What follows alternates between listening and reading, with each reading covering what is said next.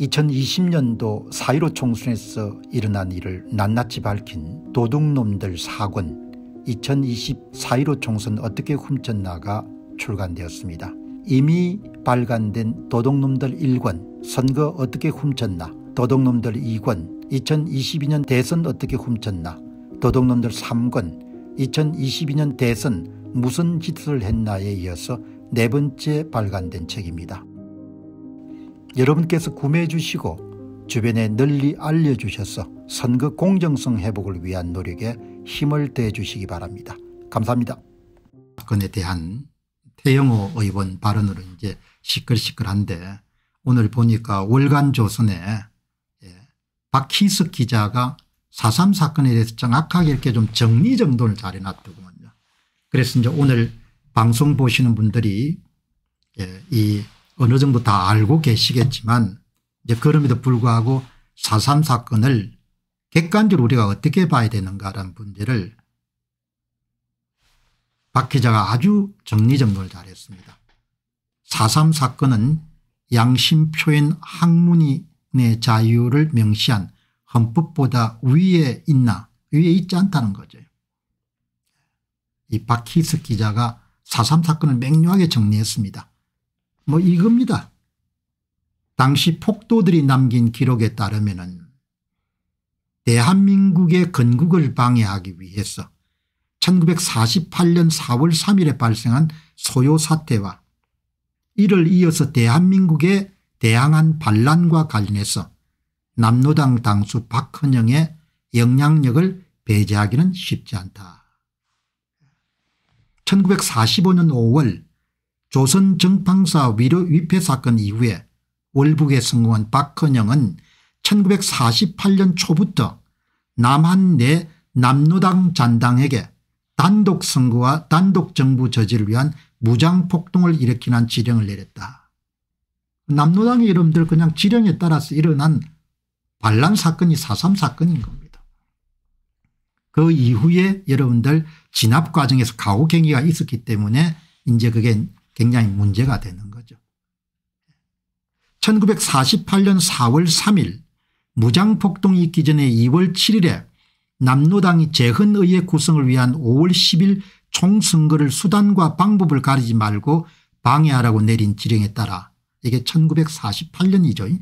좌익 세력이 전국적인 파업과 동맹휴학을 강행했고 일각에서는 과격화된 세력들이 경찰 지스를 습격한 소위 27 사건이 있었다. 이게 아마 대군지 뭐 예.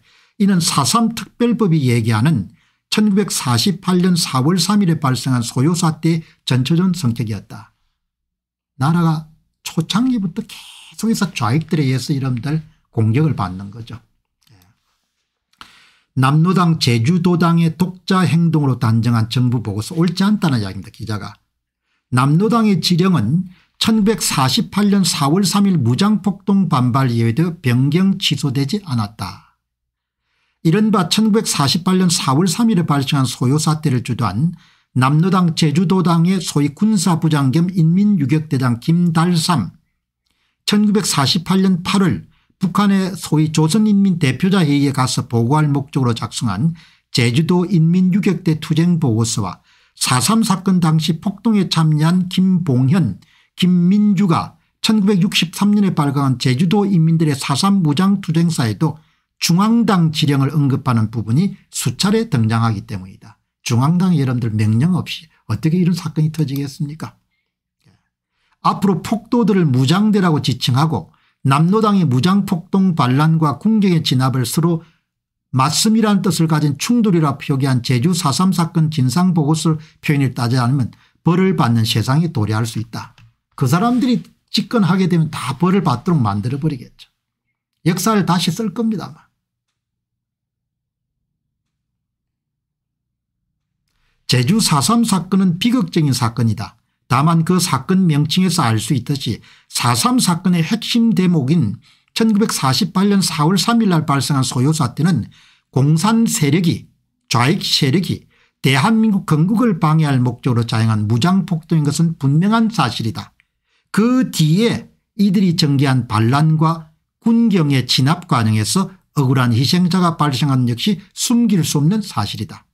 4.3 당시 제주도는 준전시 상황이었으므로 양민을 폭도로 오인할 가능성이 있기 때문이다. 또 폭도의 가족들을 연좌제로 묶어 처형하거나 소개 명령에 따르지 않는 이들을 폭도로 간주해 죽이고 옥살이를 하게 한 신뢰가 달수 있다.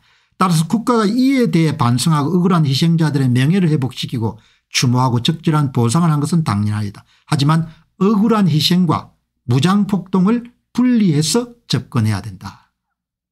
아주 박희석 기자가 4.3 사건을 아주 명료하게 이렇게 정리를 했네요. 예. 참.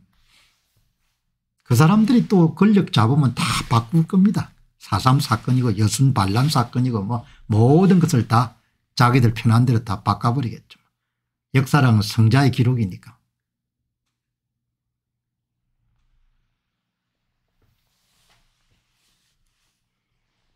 다 바꾸겠죠. 숨이 턱턱 막히지 않습니까 거짓이 뭐죠 예. 온 나라를 든 데서 어떻게 여러분들 숨을 쉬겠습니까 2020년도 4.15 총선의 실상을 철저하게 분석한 도둑놈들 사권이 출간되었습니다. 여러분께서 구매해 주시고 널리 퍼뜨려 주시기 바랍니다. 선거를 바로 세우고 나라를 바로 세우는 정의로운 길에 여러분께서 적극 힘을 더해 주시기 바랍니다. 감사합니다.